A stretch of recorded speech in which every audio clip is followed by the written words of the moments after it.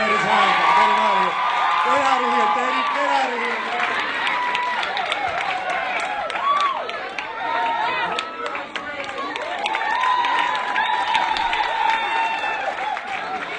Uh, good morning. Good morning. Happy Sabbath. Come on, y'all. Y'all can do a little bit better than that. Happy Sabbath. All right, let's just have a word of prayer. Dear Heavenly Father, we thank you for how amazing you are. Where would we be without you? We're so thankful we'll never have to know the answer to that question. Thank you for bringing us here for an experience with you. There are things that we need. Some of us, our career, our lives are going in the wrong direction. And we need you to help get us on the right track. Show us who you are today. Give us the knowledge we need. And convict our hearts to follow what you tell us. We love you, we appreciate you, and we thank you. In the name of Jesus, we pray. Amen. Amen. Um, excited to be here with you all this morning. Um, I have been traveling like a madman um, and just got here about an hour ago, two hours ago. Um, but God told me I needed to come um, because I see, especially when it comes to you know Adventist, you know young professionals, Adventist youth, um, I see uh, a generation living well beneath your potential.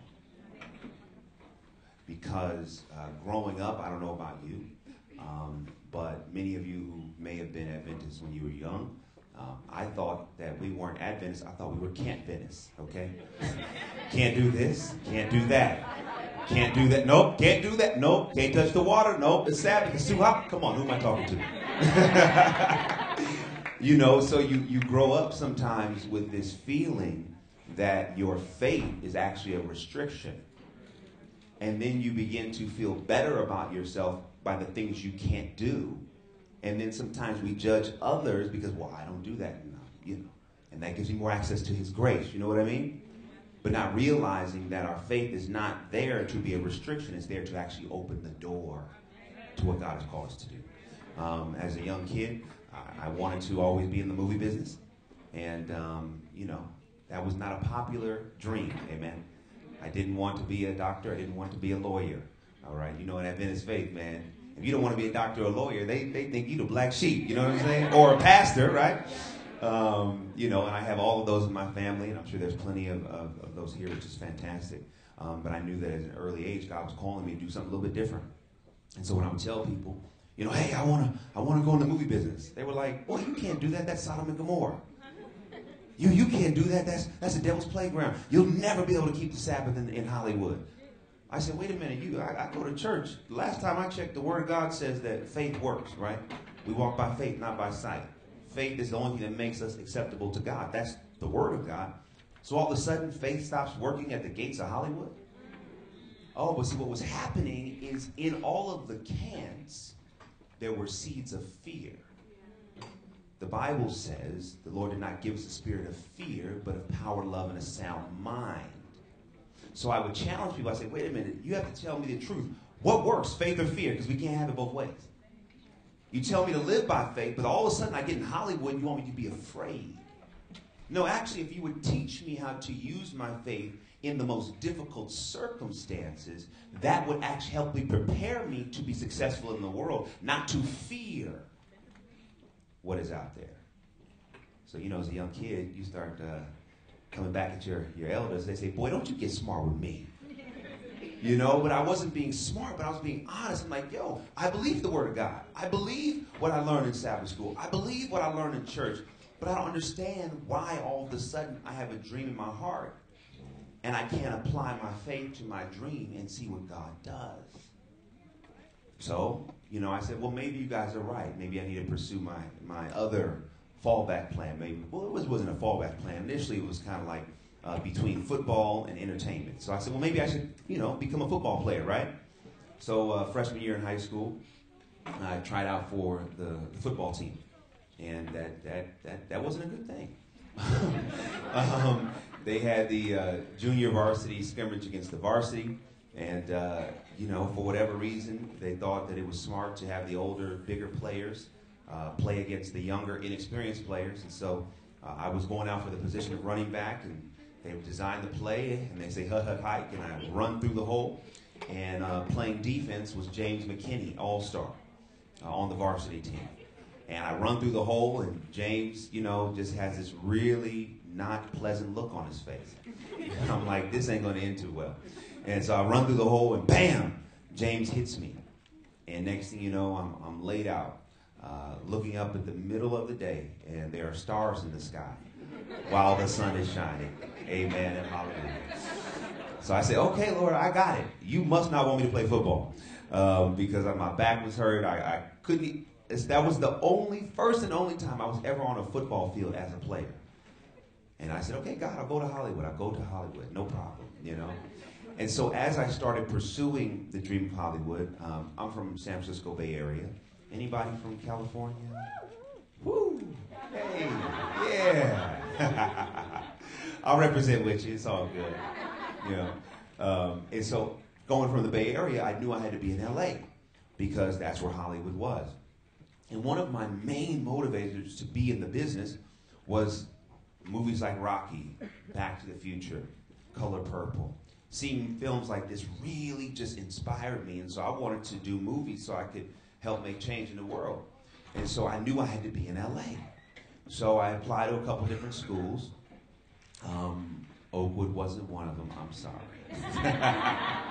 they were like, at least go to college days. I said, fine, I'm going to college days, and uh, that was it. They were like, can't you just do a year? I'm like, no, that's not what God's calling me to do. You know, my younger brother David ended up going all four, so he took he did it for all of us because I have an older brother too. And uh, man, they just they just kept shaking their head. They just said, "Lord bless him, please. He don't even want to go to Oakwood. He going to Hollywood. That's the wrong wood. Come on, Lord, bless him." Y'all know what I'm saying. And so I ended up going to USC, University of Southern California, and um, I knew that it wasn't enough to just get an education. I knew that in order to know if I really was called to be in the business, I needed to get experience in the business. And so I started trying to get an internship my freshman year while going to college. And it just so happened that in uh, high school, um, I had an after school job which helped me pay for my car insurance. And the executive director of that organization, of that nonprofit, he was uh, college roommates with this screenwriter. Uh, the screenwriter wrote uh, House Party 4, I think it was, Set It Off, and Booty Call. Um, hey, he wrote it. He wrote it. Okay. Um, and they, at the time, they were, they were pretty big movies. Um, and so I went to meet with him, and he is the one that said, you know what, you should get an internship over at this company called Handprint. Uh, Handprint Entertainment at the time was the management company for Will Smith, uh, Jada Pinkett Smith. Well, at the time she was Jada Pinkett um, Maia Campbell, Vivica Fox, Babyface. They had pretty much all the hot talent at the time. Um, and so I go in, I put my resume in, and they call me in for an interview. And um, they were just kind of getting started, and, you know, so they didn't have any interns. So I sit down the internship interview, and you know, y'all, I, I made like a cardinal sin, right? When I send in my resume, on the resume, I put my picture. Okay. So I walk into the internship interview, and uh, the HR, the general manager, when I'm in there, she shows me my resume and my picture is crossed off. She said, "Don't do this." She said, "You know, your looks ain't gonna get you a job. You know, if anything, it might keep you from it because you don't know if someone's gonna be prejudiced against you." You know, I said, "Oh, okay." And I, mind you, I'm like 18, 19 years old. I'm just, I mean, this made me really nervous, you know. But she was nice enough to use it as a learning experience and not something to prevent me from opportunity. So we're in the internship interview. Things are going great. You know, she's asking me why I want to make movies, and I said, "Hey, I want to make change." And she's like, "You want to make money?" And I said, "No, I want to make actual change in the world." And she's like, "Oh, okay." and, and, so, you know, everything is going fine. And at the intern, at the end of the uh, the interview, she basically says, "Like, is there anything else you want to say?" And uh, I'm quiet for a moment, and it's kind of awkward. You know, why would you ask me that? And then God says, um, tell her about the Sabbath. And I said, uh, nope, I'll tell her once I get it. I said, uh-uh, you ain't gonna get me up in here. No, no, no, no. Come on, somebody. Who am I talking to this morning? You know how it is. We want to get what we want. Then we start trying to figure out, okay, so how can I fit the Sabbath in there, you know? Um, and he was like, tell her about the Sabbath. I'm like, Lord. So I was faced with a dilemma. Am I going to be honest? Or am I going to compromise in this moment and see if it can work out later? Well, I said, all right. I said, well, there's one other thing. I, I can't work Friday night sundown from uh, Friday night sundown to Saturday night sundown. So if taking this internship, working on that day is a condition of the internship, unfortunately, I won't be able to take it. And it was quiet. And I'm like, Lord, this ain't right. This is just not right. And, uh, and after a moment, she said, uh, don't worry, don't worry. We, we can work around that. Uh, the next week, they ended up offering me the internship. Why do I share this with you? Um, again, when you look at your faith as a disadvantage, you begin to look at who God's called you to be and not really embrace it. Because then we got to say, well, I can't really live out my dreams because of my faith. But when you actually apply your faith to your dream, then you begin to see where God is. See, part of why I believe he was compelling me to tell him tell them about the Sabbath was he wanted to show me that if this is a door for you, your faith won't keep you out of it. But the key to go through the door is to honor me every step of the way. You have to put me first, and you can't be afraid to represent me and what I have called you to believe. And so getting in the door, my, that was my first, I mean, and getting into Hollywood and getting your foot in the door is one of the hardest things to do.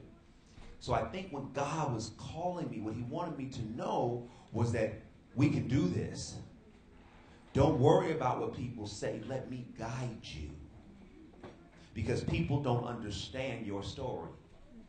So how so how somebody who ain't qualified to direct your movie try to tell you what your movie's about? You ain't even read my script. You don't know what the story ends.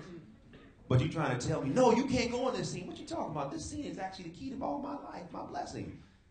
My point is, is that we have to start relying more on God and our own relationship with Him so that He can help us navigate the very things He has called us to take on. And so I get the internship interview, and, and uh, I mean, I get the internship, excuse me, and I, I interned there for two years. And it was very interesting that um, while I was there, you know, God would do some peculiar things. Uh, one night, uh, as an intern, you know, I was kind of like an assistant, you know, like a third assistant to one of the managers there. His name was uh, Benny Medina. And, uh, you know, he's very, very, very successful, popular, big manager. I mean, he's like one of the most successful managers probably ever in the business.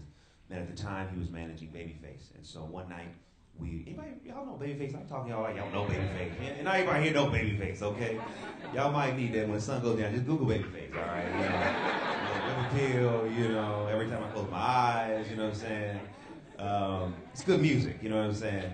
Um, and so, what happened was one night we were preparing uh, the manager to go overseas to meet with um, Babyface and Michael Jackson, and um, uh, we were there late. It was probably about midnight and uh, by the time we got finished getting him ready, and we were getting ready to leave, and God says, "Pray with him."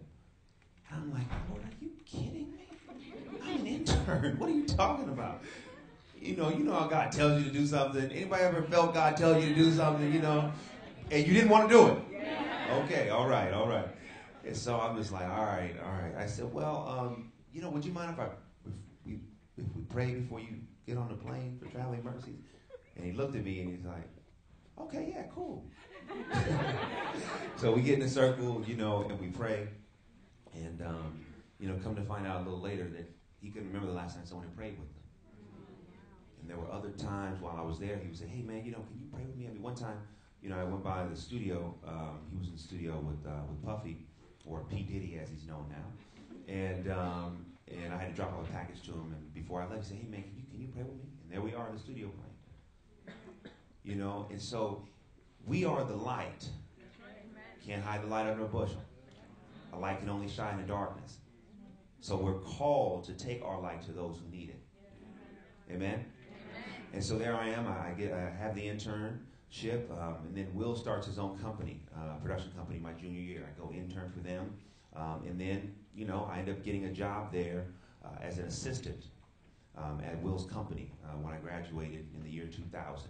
And an assistant, just so you know, in Hollywood, on the executive side, pretty much everybody starts from the ground up.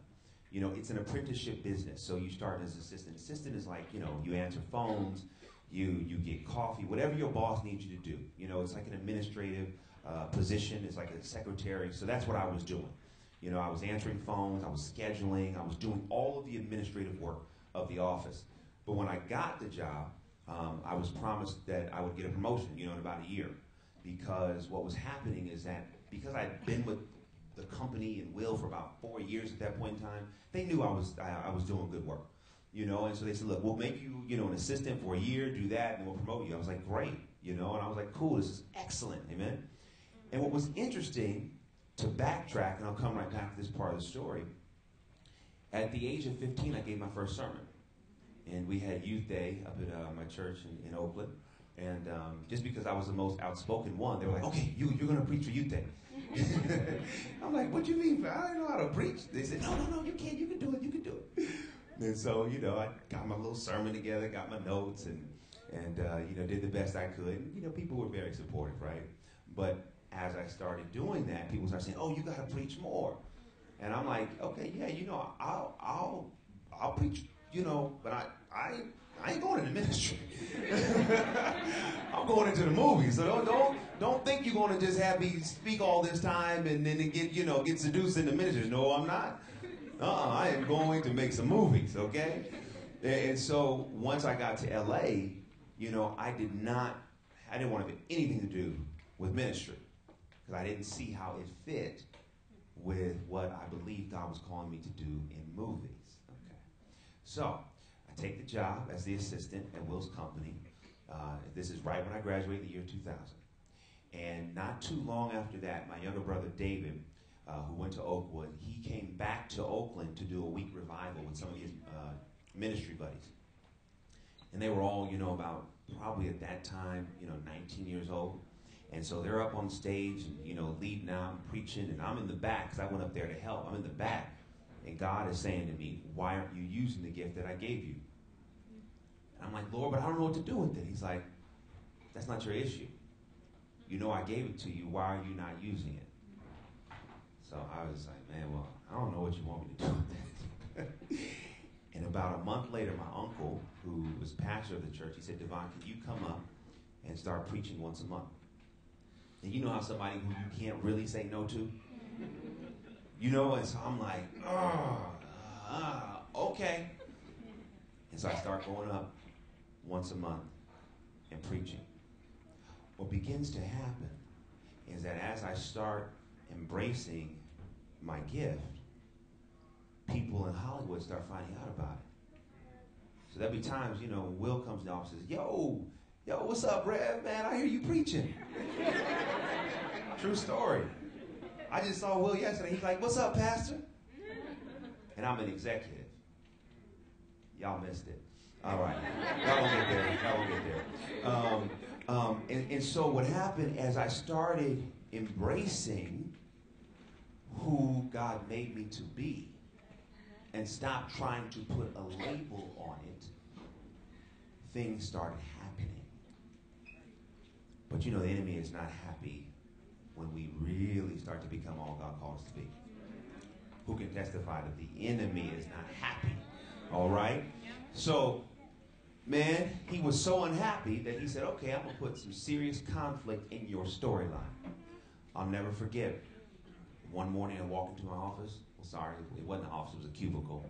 It wasn't even a cubicle, just a desk outside a door, all right? if I'm really being honest, it had no walls or nothing, you know? And, and uh, um, I had some friends that worked in the film department at Will's Production Company. And one morning, they, I, literally, my desk is right here, and my boss's office is like right in front of me, and the door's on the left. And I see them walk across into his office, you know, happy excited. It's the morning. They're like, hey, you know, boss wants to meet with us. Great. And they walk out completely devastated. They got let go. There were some things happening in the environment that no one knew about, and they were making some changes, and the entire film department got let go in one moment. Couldn't have planned for it, didn't see it coming, but life happened. And I had so much compassion for what was going on, and I, I was I was sad. I said, how could that happen to them? And I, I'll be honest, I couldn't help but think about myself, like, whoa, man, maybe, maybe I know they're not clearing out the department for me. you know, I'm, I mean, I, I think highly of myself, but not that much, right? And, and so I began to realize maybe this is not going to happen. And as I would go in the office day by day, the more the reality that the promotion was not going to happen set in. And now what was happening is I was viewing my entire future through the lens of that one job. Who am I talking to? All right. That you're viewing your entire future through the lens of that promotion. See, while I was going to USC, I never went home to the Bay Area for a summer because I stayed in LA and worked. Because I didn't want anything to keep me from making it in, in Hollywood. So there were some summers I couldn't even make enough money working one job. I worked three jobs. I do whatever it took to pursue this dream. And so I'm, i made all the right moves. There were times I wouldn't go hang out with friends because I was, you know, at my internship. There were a lot of sacrifices I made along the way. And here I am, and the thing that was promised me, which I viewed as the key to my entire future and the validation of my purpose, was being withheld. And I did not know how to reconcile it. So instead of operating in faith, I got depressed. I got angry. I got frustrated. I said, God, how could you do this? You know, here I am. I'm in the workplace. I'm being a good example. I'm still going to church. I'm still honoring the Sabbath. I'm returning an honest tithe. I'm doing all of the things that you said I should do. Why would you take this from me? I don't understand where you are in this. So for months, not weeks, months, I would go into the office depressed, angry, frustrated, not sure what to do with myself or my life. You know, and I put on the happy face, the happy Sabbath face. Y'all know what I'm talking about. Happy Sabbath! you know, man, people don't even know you messed up inside. You about to break down crying if somebody sit with you long enough, you know? When we put on that that's how we go in the office, right? Because I didn't want anybody to know that was really tore up inside, really messed up. And so one day, you know, I went to my cubicle. I did upgrade to a cubicle by that time. and, um, you know, I just said, I'm done with this. I said, I can't, I, I, said, I can't do this anymore. And at the time, I mean, I said, you know, I, I only thing I can do is, is operate in what I have been taught to do, which is faith and prayer. So I go in the bathroom, I shut the door, and I just have it out with God. I said, listen, uh, Lord, in your word, you say anything I ask for in the name of Jesus, you would do. So I can't come in here like this any longer. So if your word is true in the name of Jesus, I need you to move on this job today. You got to do something, Lord. You have to do something.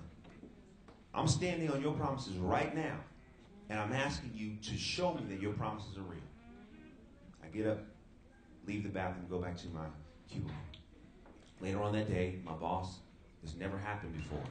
He and I were the only two people left in the office, and he calls me in. He says, "Hey, Devon, you have a minute?" You know, I'm thinking, "Look, I work for you, so I mean, I, how many minutes do I have? You tell me." you know what I'm saying? So I end up, you know, I said, "Yeah, I got, yeah, yeah, I got a minute." So I go into his office and uh, sit down, and uh, he says, uh, "Will and I, we love you, but we know that you've hit a wall here. We wish we could promote you, but we can't."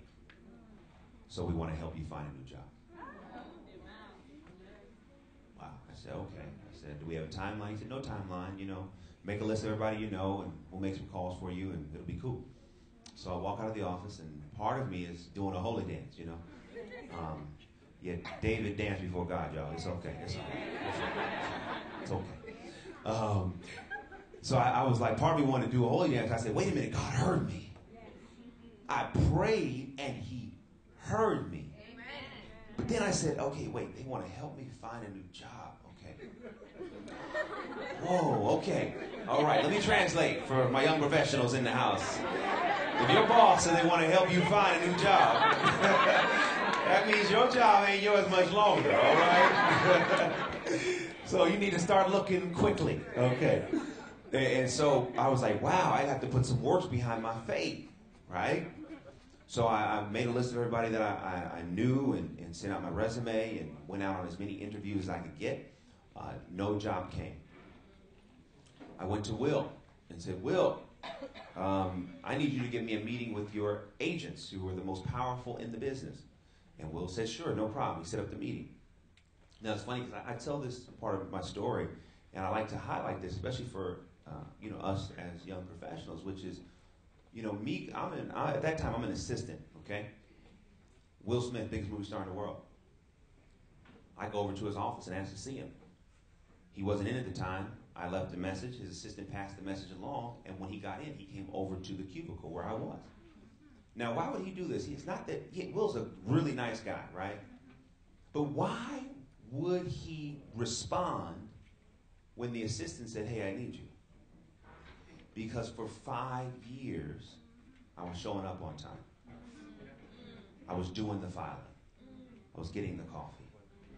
I was operating in integrity. I was staying late, making deposits, deposits, deposits in the bank. So when it was time to make a withdrawal, my account was good. Come on, somebody. See, a lot of times we get frustrated because we think the person that's supposed to bless us and who God's supposed to work through ain't doing what they're supposed to do. So we get mad. Well, why isn't this person doing this? And I, am supposed. No, no, no. You just keep showing up. You keep being excellent. You keep doing great things with the work God has put in front of you. He said, because you were faithful over a few, I'll make you rule over many. He said, what's done in private, I'll reward openly. This is the God we serve. But sometimes when you commit to success, it takes time. And you can't let your frustration be evident in your work. No excuse for less than excellent work. If you can't do excellent work, quit. It's not worth the damage to your, your reputation. Because somebody somewhere is going to call back to that one job you thought don't nobody know. And say, well, how were they then? And you always want the report to be good. So I had enough equity in my account with Will that when it was time to make a withdrawal, it was already covered. So he set up the meeting uh, with uh, his agents. I go in, I meet with them. They send me out on interview after interview. I get no job. And time seems to be running out. So I said, I don't, I don't know what else to do. Anybody ever been there before? He's like, I, I, man, you got me on this one, Lord. I don't know what to do. So I ended up going to church. And just so happened, um, this particular service uh, was an Easter service, and it, Easter fell at the end of March on this particular year. And uh, Bishop T.D. Jakes was in town. And I went to hear him preach. I've always liked his sermon. So I went to hear him in L.A. at the Forum. And um, I got there really late, so I was like a dot. I mean, he looked like a dot on the stage. I was in the rafters, you know. and um, he preached a sermon called Turn the Page. At the end of Deuteronomy, Moses has died, and the Israelites are mourning his death. And when you turn the page to the beginning of Joshua, the very next chapter, uh, God says, Moses, my servant, is dead. Um, but it's time for you all to get up and go into the land that I promised you. And he spoke to me because at the end of Deuteronomy, they're crying over a situation that ain't going to change. The chapter is over. Moses is dead.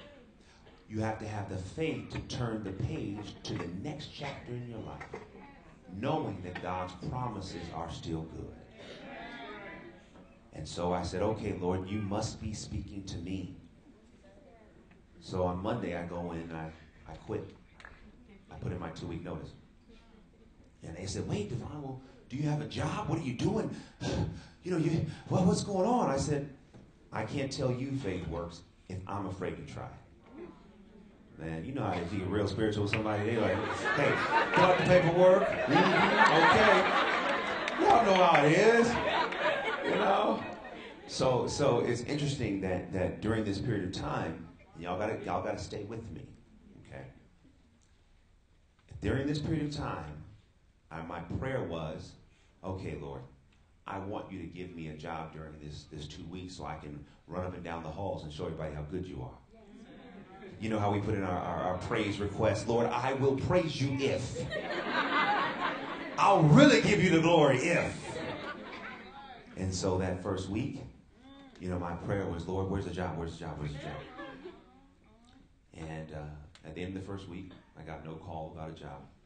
And uh, that weekend, he brought me to my knees. And he said, Do you think that I sent you through this for a job? No matter how great the job, it's always temporary. I got jobs, I got houses, I got land, I got money, I got positions. Those are all material things. Sure, can do that in a moment. But do you think I'm sending you through this for something material and temporary? No, I'm sending you through this because I want a closer walk with you. And I had to get your attention so that you would know that everything that you dream about and all the visions I put in you are tied up in a relationship with me. But you've been putting me on other people that are not your God and they are not the source of your resource. So I needed to get your attention so you would know that I love you and I need to walk with you if we're going to walk this thing out together. And when I got that revelation, I apologized, Lord. I repented. I said, I'm sorry. Here I am praying for a job, a thing. I wasn't even praying for you. So I changed my prayer. I said, Lord, give me you. And I said, as a matter of fact, Lord, here, I'm going to take my desire for this business and put it on the altar. Take it. Because I don't want this business more than I want your will. Give me your will. Because I know if you give me your will, I will be fulfilled because that's what I was created to do.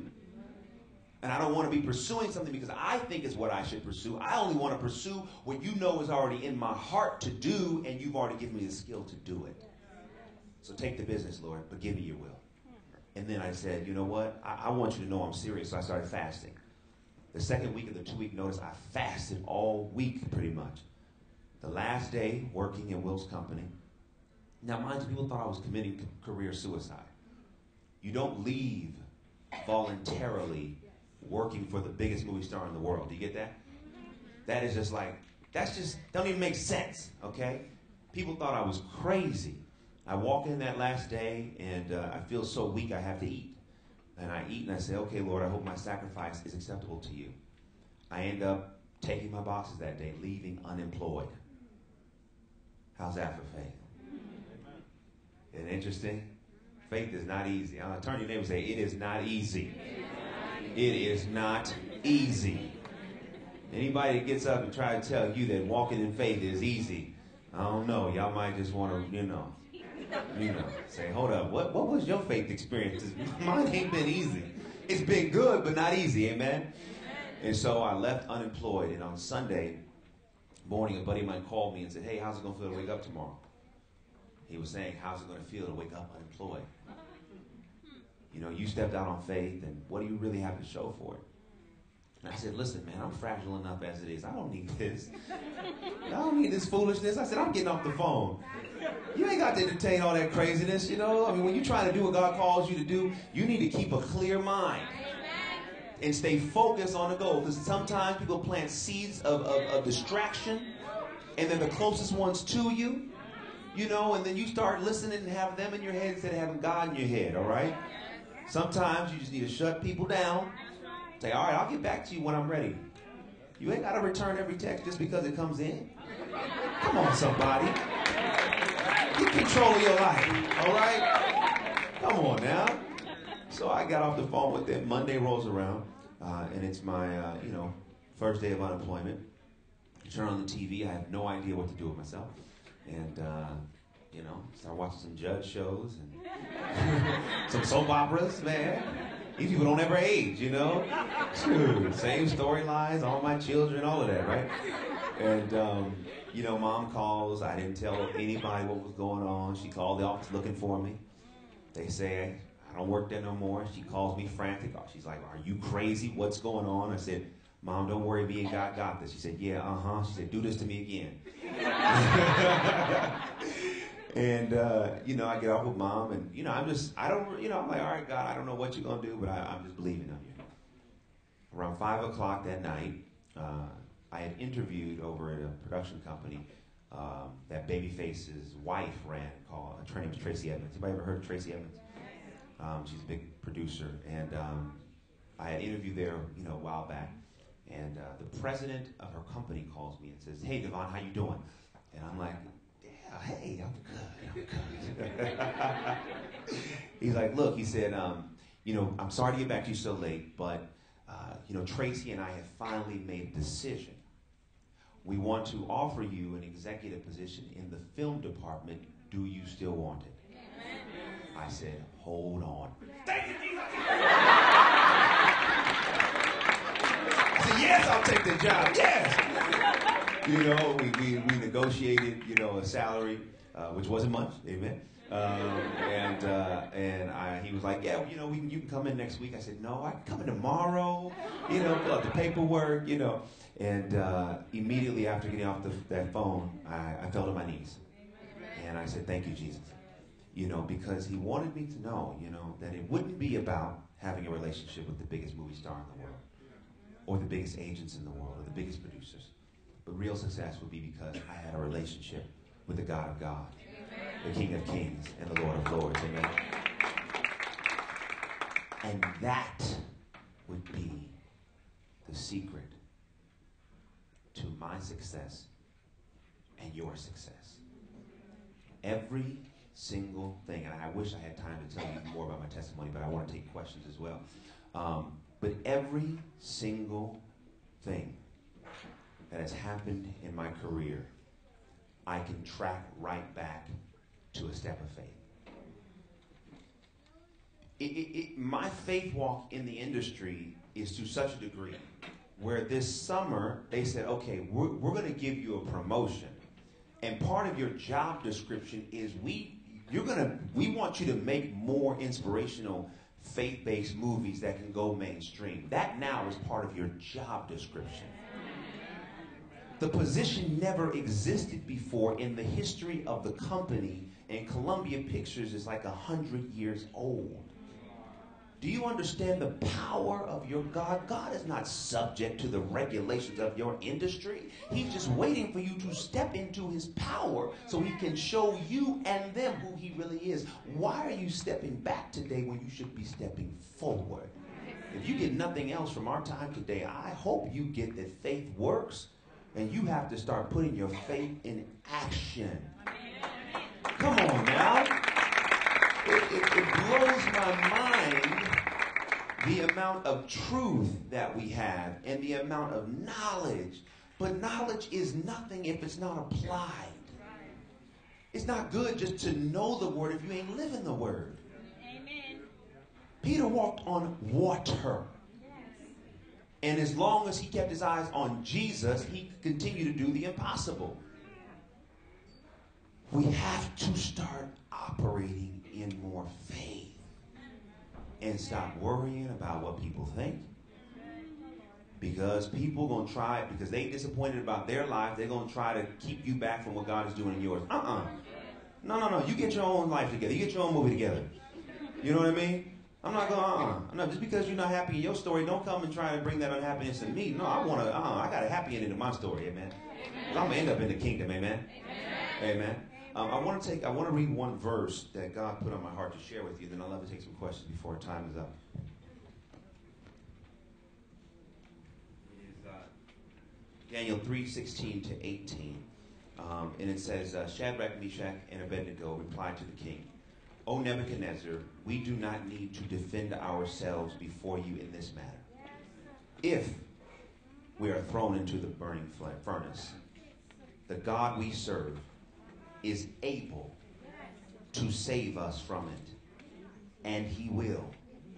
Turn your neighbor and say, He will. Rescue us from your hand, O king. But even if he doesn't, if he makes the choice not to, that will not ch- that will not change our response, O king, because we will not serve your gods or worship the image of gold you have set up. This is what I live by. We know God is all powerful, and I have the faith that He's going to do it. But even if He doesn't do it, it doesn't change His faithfulness. He might not do it for a reason. But regardless to what He may choose to do, it will not change my position to be faithful under the most extreme circumstances. I will not compromise and bow down and serve your gods. As a matter of fact, I will stand in faith and let's see what God does. I challenge you this morning to not look at this as, oh, we had fun this weekend. Oh, that was a cool retreat. You go on a retreat, you, we've been on a million of them. No, I challenge you this weekend to really say, God, what are you calling me to do? Where am I most afraid? And help me with your power face my fears so that the power of faith can be unleashed in my life. Some questions?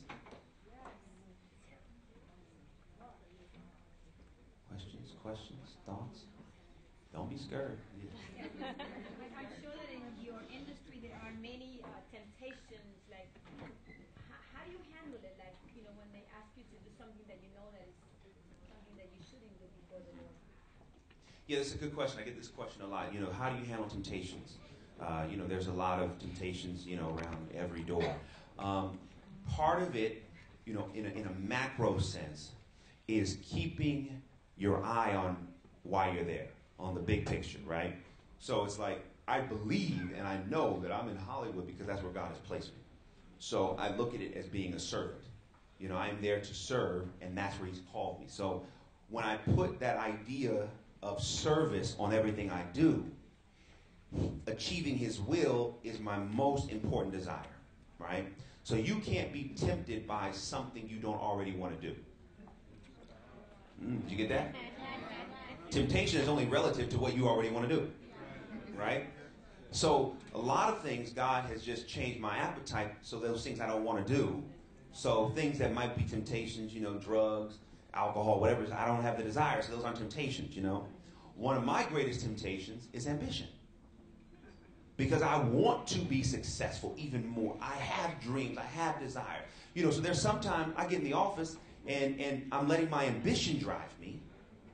And then when I get in ambition and, I, and I'm not really in his will or I'm not really seeking him, then I start to service myself because, oh, well, this is going to get me this position. This is going to make me look good for my bosses. This is going to let people in the industry know who I am, right? I start feeding the ego, right? And the ambition feeds the ego. So one thing that I just continuously pray on is, God, I know you made me ambitious, but please help me stay focused on what you're calling me to do. Let me see you in all the projects that I'm trying to get done and the things that maybe you don't want to get done. Let me have a peace about that, you know? But so much of it is really keeping my eye on why I'm there. You know, when you think of a, a soldier, okay, they get deployed in Afghanistan, their mission, they have a mission. Here is the mission, right? We're there to defeat the enemy and rescue as many as we can. Now, if you're there and you start, you know, forgetting why you're there and you're hanging with other people and stuff, it's like, no, no, you're here to save people, then you're going home. So I try to keep focused on why He has me there. And the times when I miss it, I pray for grace, pray for forgiveness, I repent, and I get back and keep going forward. Yes, sir. First, I want to praise God because He didn't have you playing physical football, but now He has you playing spiritual football. Ah, man, I love that. Uh, the question is, though, um, sometimes when you uh, when dealing with conflicts, where you know you, you got to get up on Sabbath and, and, and preach about you know don't commit adultery, and then now you go in office Monday morning and, and a movie's being put out that may, in the eyes of some, promote it. Yeah. How do you deal with those types of conflicts, uh, both to preach of the word as well as a Yeah. person trying to serve? That's good. Um, in, in a number of ways. You know, part of what God has called me to do is one, the movies that I make. You know, God has one raised me up in such a way where I'm able to pretty much work on the films that I can I want to work on. You know, to a degree. So when you look at the films that I do, I, I try to do films that you know are inspirational, are positive. But the one thing that I, I put out there is this is a little controversial, right? If you were to put a rating on your life, right, because of the things that you have faced and that I have faced, how many would say, oh, I got a PG rated life? No, we, we have faced death. We have come through acts of violence. We have come through hell, right? So if you go to a movie and it doesn't represent life, you say that's whack. I don't care how spiritual you are. You can go see a movie and say that no, that, that's not real. So what I'm called to do is to make films that represent life, but point people higher. I don't want to make movies that just pander and, and, and, and try to sanitize the reality of life because that's not going to help nobody. You know, I want people to be able to see, man, I went through that. My mother went through that. You know, in Jumping the Broom, one of the storylines is that the bride discovers that her parents aren't her parents. That was real. That's real. That happened. So I, I like to mirror real life in film, but then aspire to show people, okay, here's how you can deal with it and come through it, right? Um, the other part of it is by being in the rooms. There's, there's a lot of movies that get made that I don't have anything to do with, right? By being in the room and giving notes on scripts, I can at least articulate, well, wait a minute, you know, are you sure about this? Or why about that? And you have this, you know, the black character so acting so crazy in this. Why? You know, so being in the room can help make it less than what it would have been on things that aren't in my, you know, in my responsibility. You know what I mean? Um, and here's the thing: I don't feel. I mean, look at Daniel, Shadrach, Meshach, and Abednego. They were in Babylon, right? God put them in Babylon, right? They were responsible for lifting him up and being the stewards over what he called them to lead over, right? But the, the blood of Babylon wasn't on their hands. They were there to be lights and help as many as they could. So I feel the same way, which is like I, I'm not going to try and take responsibility for every movie that gets made in Hollywood. That's just not what I'm called to do, right? You know, just like if you're in, in music, you can't take responsibility for every song that gets made, right? But I do my best on every film that I do to really pray about it. And there have been times, you know, things just don't feel right. I, I just don't do it. I just say, no, no, that ain't me. You know, there's a movie out right now. I'm not gonna say. Yeah, I was just like, nope, that ain't me. That ain't me. And uh, it, it's made a lot of money too. But uh, you know, money ain't everything. Yes, my brother.